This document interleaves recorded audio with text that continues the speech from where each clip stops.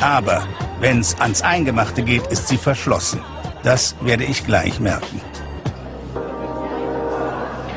Frau Butt, Sie sind ja auch Werbeikone für Kick-Kleidung. Was haben Sie heute Abend getragen?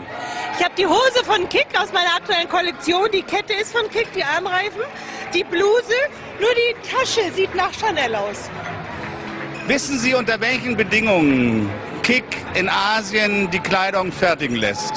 Also ich weiß, dass Sie rund um den Globus Kleidung fertigen lassen, aber Sie können sich ja vorstellen, dass ich nicht in den Vorstand gehöre und somit natürlich nicht über die einzelnen Details Bescheid weiß. Wissen Sie, dass eine Näherin in Bangladesch die Hauptdarsteller nicht verpassen?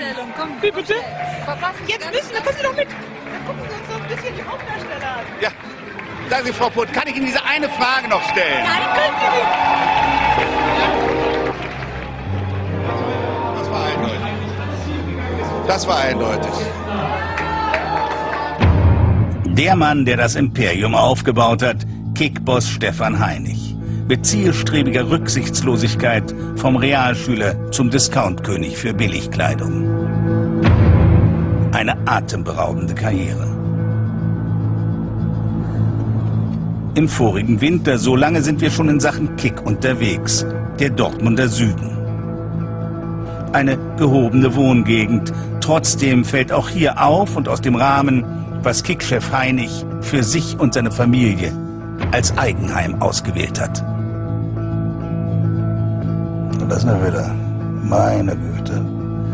Dass da Geld drin steckt, sieht man aber. Boah.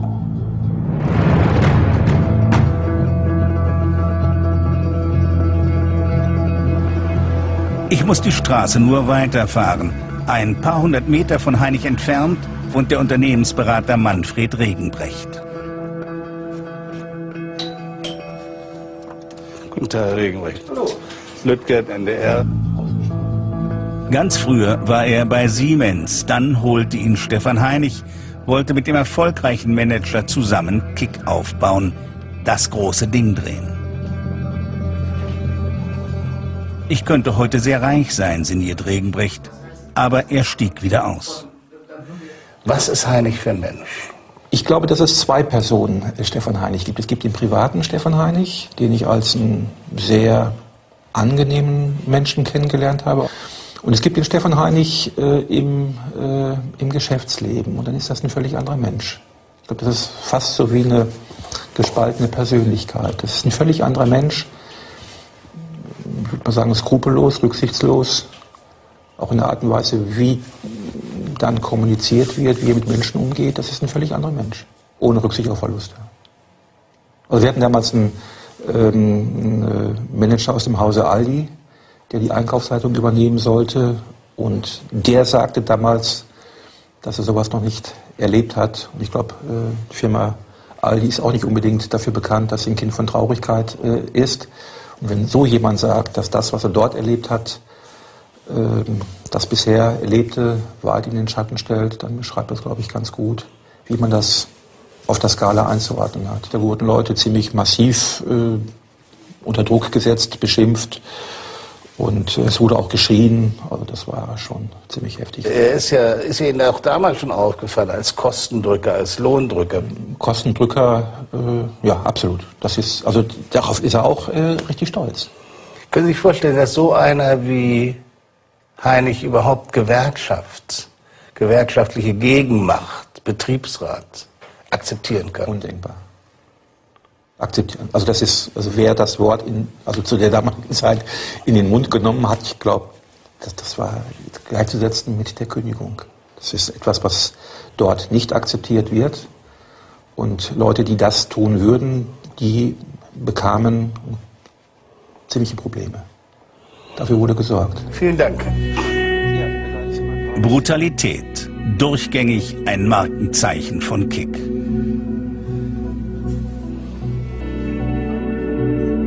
Im malerischen Heppenheim an der Bergstraße treffe ich Ria Ehret.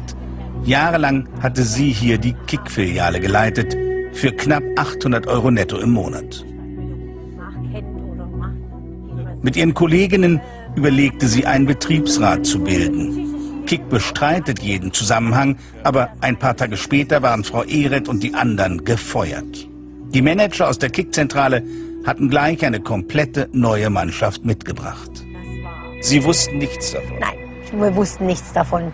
Wie waren so die Gefühle bei denen, bei denen, die so gefeuert worden sind und gar nichts geahnt hat? Ja, es hat also sehr viel Tränen gegeben. Sie waren also alle sehr geschockt. Auch ich war geschockt, weil wir einfach nicht, das hätten wir nie gedacht, ja, dass das sowas sein kann, dass man ein ganzes Team an einem Tage innerhalb von zwei Stunden rausschmeißt.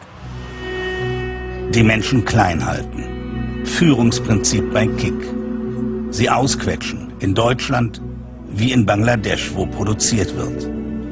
Wo die Armut so entsetzlich ist, dass man eigentlich gar nicht mehr quetschen kann. Es ist ja nicht nur Kick. Es sind auch die anderen westlichen Großabnehmer, die in Bangladesch fertigen lassen. Mit ihrer rücksichtslosen Preisdrückerei verwehren sie diesen Menschen die Chance auf ein besseres Leben.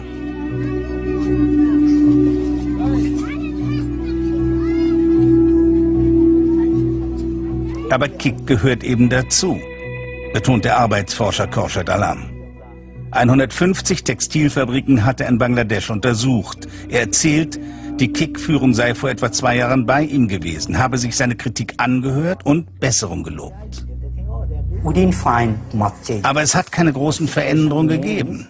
Wir fanden jetzt in etwa dieselben schlimmen Zustände vor wie vor anderthalb Jahren.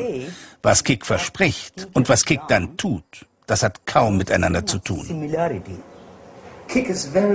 Aber Kik ist doch stolz auf seinen Verhaltenskodex für Bangladesch. Und hier schreibt Kik, dass der eingehalten wird. Wir wissen, warum sie das tun. Alles für ihre Werbung, aber nichts für ihre Arbeiter hier. Ihre Werbung soll ihnen ein gutes Image bei den Kunden zu Hause bringen. Dann brüstet sich Kick mit Wohltätigkeitsaktionen. Bildung für 50 Kinder, medizinische Versorgung für ein paar Arbeiter. Aber das bringt doch nichts. Kick hat eine Gesamtverantwortung für die Arbeitsbedingungen in den Fabriken. Und diese Verantwortung nimmt Kick nicht wahr. No, I don't think so that Kick, Kick really takes the responsibility of the workers' welfare. Am letzten Tag vor meinem Rückflug gehe ich noch einmal zu Alea. Ich will wissen, wie es ihrem todkranken Cousin geht, den sie immer ihren Bruder nennt.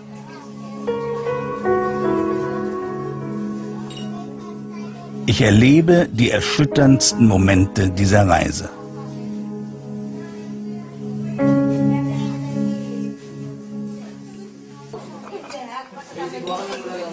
Und ich sage zu mir, du musst dem Jungen hier irgendwie helfen. Und du musst das fotografieren, dokumentieren und Kickchef Heinig zeigen, der die Menschen hier mit seiner Preisdrückerei in Armut hält.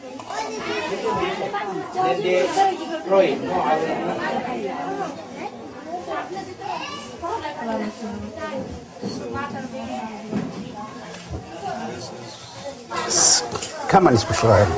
Er stirbt. Er stirbt.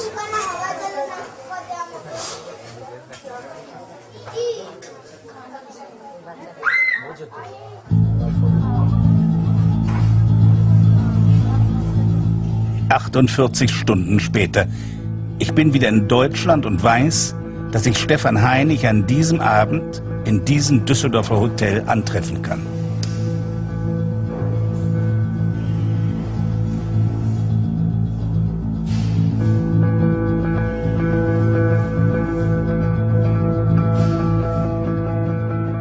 Herr Heinig, Lüttger, deutsches Fernsehen. Ich bin gestern aus Bangladesch zurückgekommen. Würden Sie sich bitte dieses Bild mal ansehen? Da stirbt ein Junge, seine Schwester ist Kicknäherin und sie verdient so wenig, und sie verdient so wenig, dass sie sich keinen Arzt für ihn leisten kann. Was sagen Sie dazu?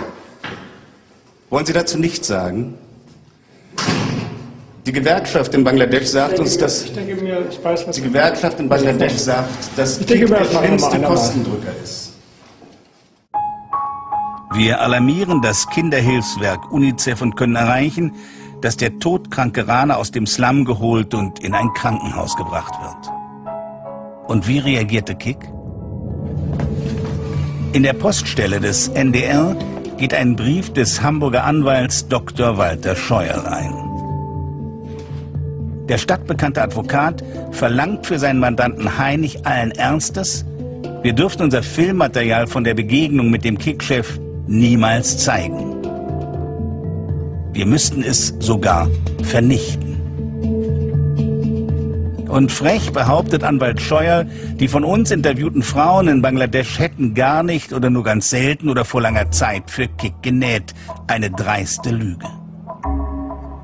Wir müssen ein zweites Mal nach Bangladesch fliegen, denn der Anwalt setzte bei Gericht durch, dass wir die Kick-Story nicht mehr zeigen dürfen. In Dhaka trommeln wir die Näheren erneut zusammen. Sagen Sie ihnen, dass ich mich sehr, sehr freue, alle wiederzusehen und dass ich Ihnen sehr dankbar bin, dass Sie gekommen sind. So, das heißt, Sie haben alle für Kick genäht. Es ist uns fast peinlich, aber wir müssen Sie bitten, per Unterschrift zu bestätigen, dass Sie bis zum vorigen Jahr Kickkleidung genäht haben oder sogar noch heute nähen. Ein examinierter Dolmetscher und ein Vertrauensmann übersetzen Ihnen Wort für Wort die eidesstattlichen Versicherungen, die Sie dann allesamt unterschreiben. Nur sowas zählt bei einem deutschen Gericht.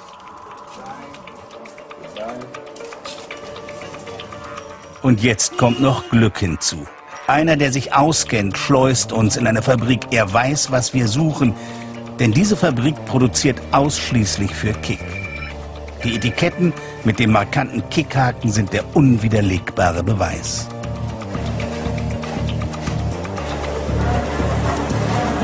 Hier. Alles, alles in allen Hosen Kicklabels.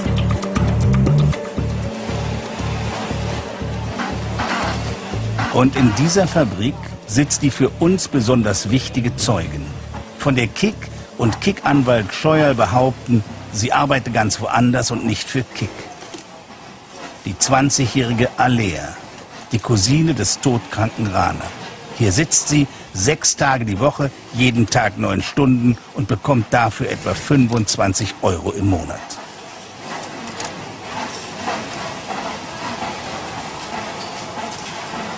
Ein Stockwerk tiefer, ganze Paletten mit Kartons voller Damenhosen, für die Kick zwei bis drei Euro pro Stück bezahlt. Britta, komm mal her, da hinten sind die richtigen Kicklabels. Guck hier. Alles die, alles die Kicksachen. In Deutschland werden diese Hosen 9,99 Euro kosten. Abschied von Alea. Wir versprechen ihr, dass wir mit ihr in Verbindung bleiben. Ihrem Cousin Rana, so erzählt sie uns, gehe es langsam wieder besser, noch erhole er sich in einem Heim.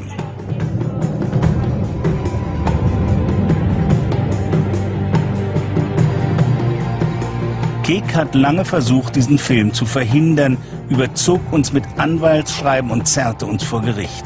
Doch die Wahrheit hat gesiegt.